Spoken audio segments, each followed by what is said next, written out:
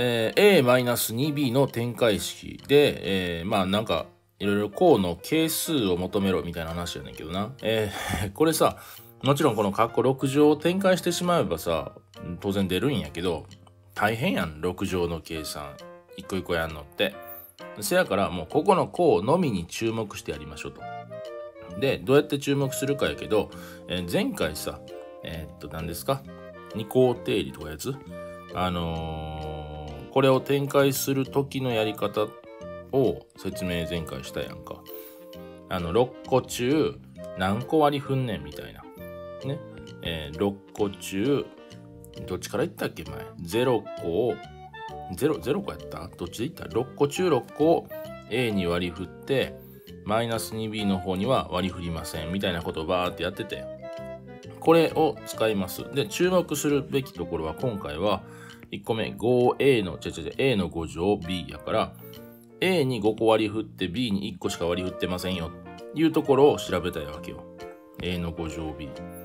じゃあ、えー、6個中5個を A に割り振って、まあ、過去いらんが。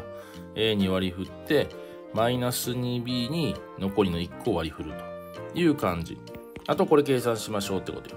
ほな 6C5 は6でしょで、えー、っと、5A の5乗のマイナス 2B から、えー、まあまあ一応書くか。こうやって。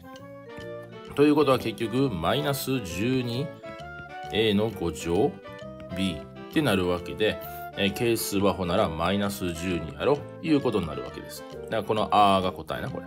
A の答えはマイナス12みたいな。ほな、こっちも一緒よね。この A の2乗 B の4乗も、まあ、全く一緒よ。こんなに。えー、っと、A、ん？なんて ?A の2乗 B の4乗は、えー、何個 ?6 個中2個を A の方に割り振って、A の方に割り振って、残り4個を、マイナス 2B の方に割り振るよという感じ。あとこれ計算してあげましょう、言うてね。6C に6、5を2、1で割ればいいよという話やな。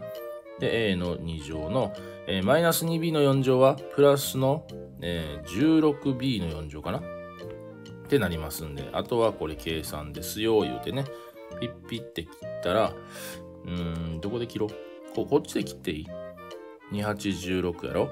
えー、ここで5630になるから30と8で3波24、240か。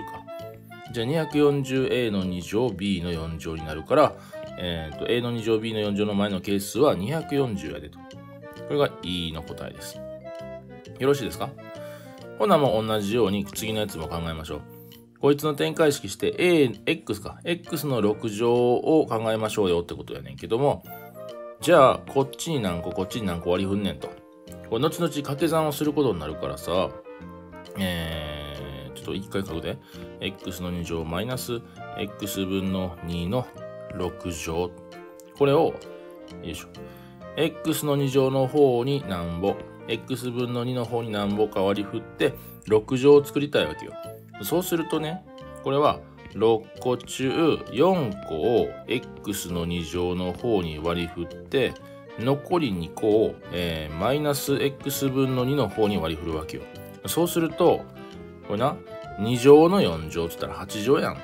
やねんけど、こっちがほら2乗分の1するからさ、約分できるわけよね。